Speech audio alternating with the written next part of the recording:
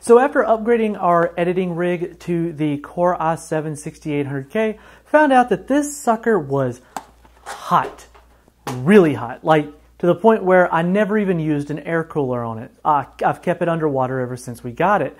Now, Noctua sent back whenever they sent us the NHC 14S to do a review on that we put up on the site earlier this year.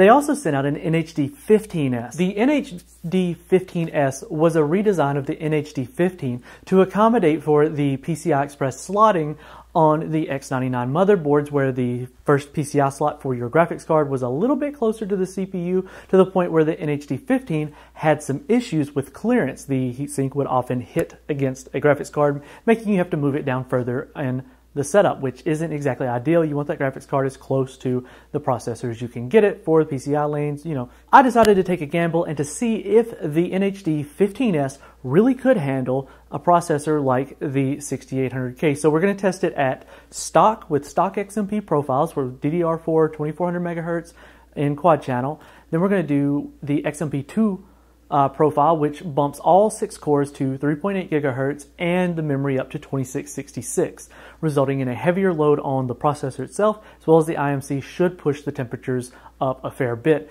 And then we're going to finish it off running my daily overclocks that I use for all of our testing, as well as whenever I'm doing editing and rendering at right at 4.1 gigahertz with 2666 megahertz on the RAM and 1.25 volts. So that's the hottest that I really run this card, and it still gets warm under water. So we're going to see if this thing has what it takes to control that. Now taking a look at the cooler itself, it comes packaged in traditional Noctua fashion where everything is packed in perfectly, but unlike other coolers that they ship out, they have one box for all of the accessories rather than individual boxes for Intel, AMD, as well as the accessory box. And moving on to the cooler itself, it's packed in its nice own little box with the fan already installed. Now, the thing here to take a note of that separates that NHD 15S from the D15 is that offset for the heatsink. You can see it's slightly offset from the base rather than directly over it, which allows for that clearance. Now, installing it on the X99 platform is extremely easy. All you have to do is install the, uh, the standoffs to the CPU mount, then add the Secufirm 2 brackets to it and the screws down on top of those, and then boom, you drop the cooler right down on top of it, screw it down with the included screwdriver, the two screws, that's it. Then slide the fan down, clamp it on, plug it in, and you're good to go.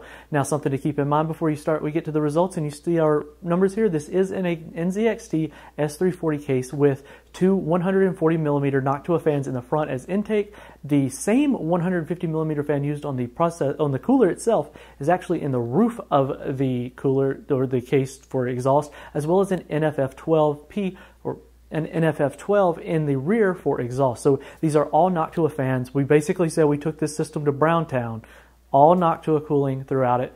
Now that may factor in some differences with what you may see in your build depending on the intake fans and the exhaust fans. Now they did do, we're doing all of these tests with the side panel on just like I would be using it at home.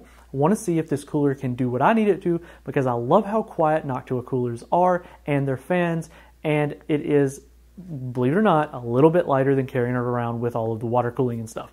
So let's jump in, let's take a look at it with the stock results and see where they land. Alright guys, so here we are after about 10 minutes, we're at 9 minutes 50 seconds with AIDA64 at the stock frequencies for the 6800, so it's settling when all cores are fully activated, settling around 3.6 gigahertz, and it looks like our highest temperature is 50 degrees C on three of the cores, 48 on two, and 45 on one. So clearly stock speeds are not a problem for the uh, Noctua NHD 15. We're going to shut it down and we're going to enable the XMP2 profile where it's going to run all four, all, all six cores at 3.8 gigahertz and the memory will jump up from uh, 2400 megahertz to 2666, putting a little bit more stress on the IMC and we'll see just how much these temperatures rise as a result of that.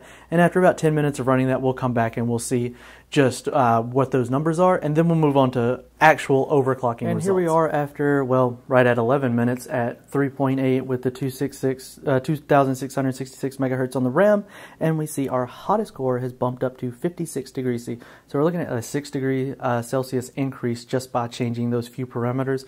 So a good little increase on the temperatures, but we're still okay. Everything is mid to lower 50s except the one core that's down at 47. So we're going to shut it down. We're going to run it back up at 4.1 gigahertz with 2666 memory and uh, the voltage at 1.25 volts. That's a manual overclock to get there, and we're going to see if the NHD 15S can handle a manual overclock. All right, so here we are on the third and final test with it running at 4.08 gigahertz, so right at 4.1 gigahertz with the memory at 2666. Now, it has been running for almost 14 minutes now. I accidentally went a little bit long, but figured that's even better to show you the uh, end result here with this. But what you see here is the hottest core topped out at 64C, and all of the rest of the cores stuck pretty close to around 60. So I think it's fair to say that the Noctua NHD15S is quite capable of handling the i7 6800K, even though it only has one fan. And it is extremely quiet still, even with the overclock, and it's sitting just behind the monitor here. I'll slide it over just to show you. Let's uh, slide that over, and there it is right there. So, I mean, it's just right here behind it. Uh, so let's jump on into the conclusion. Now there you go, guys. You've seen all of the temperatures, stock temperatures, very cool, very quiet. The slight overclock with the XMP2, still fairly cool. Pretty good job there. Overclock to what I feel comfortable overclocking it to. Did a very good job keeping the CPU well within uh, the, the thermal limits and even allowing for a little bit more if I wanted to go. But truth is, this processor does not overclock very well. This is actually the, once you hit this, the thing hits a voltage wall and it takes so much voltage to get any faster. It makes no sense whatsoever to ever run this setup at that point. I hope you guys enjoyed the video. If you found it interesting or entertaining, feel free to like and subscribe and we'll catch you all in the next video.